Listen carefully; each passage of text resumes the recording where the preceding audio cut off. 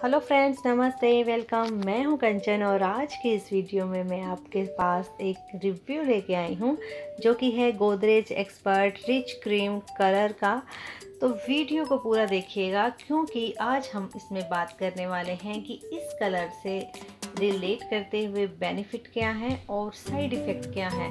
अगर आप वीडियो को पूरा नहीं देखेंगे तो कोई ना कोई पॉइंट शायद आप मिस कर लेंगे। तो चलिए बात करते हैं इस कलर के बारे में। इससे पहले रिक्वेस्ट करूँगी, अगर आप मेरे चैनल पर नए हैं तो प्लीज़ सब्सक्राइब कीजिएगा। ये है Godrej expert rich cream colour जिसपे मेंशन है, ये लॉन्ग लास्टिक है अमोनिया फ्री है, और साथ ही साथ इसमें एलोवेरा जेल है। अगर बात करें इसके बैक पोर्शन की तो इस पर लगाने का तरीका बताया हुआ है, साथ ही साथ इसके इंग्रेडिएंट दिए हुए हैं। तो मैं अपना ओपिनियन आपके साथ आज शेयर कर रही हूँ।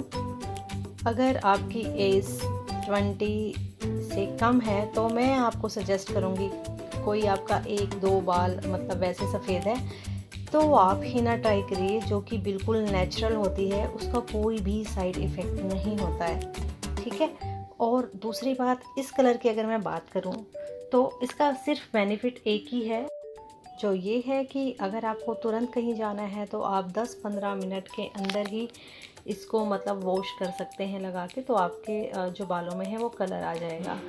और अगर मैं इसके नुकसान की बात करूँ तो मुझे लगता है कि अभी तक कोई भी ऐसा नेचुरल कलर नहीं बना है जो 10 मिनट के अंदर ही बालों को कलर दे दे। केमिकल तो इसमें भर भर के होते ही हैं चॉइस आपकी है, आप यूज़ करना चाहते हैं, नहीं करना चाहते हैं। अगर यूज़ भी करना है तो पहले पैच टेस्ट ज़रूर कीजिएगा कि आपको सूट करता है, नहीं करता है। यही थी इससे जुड़ी जानकारी मिलते हैं नेक्स्ट वीडियो में नई वीडियो के साथ। Bye bye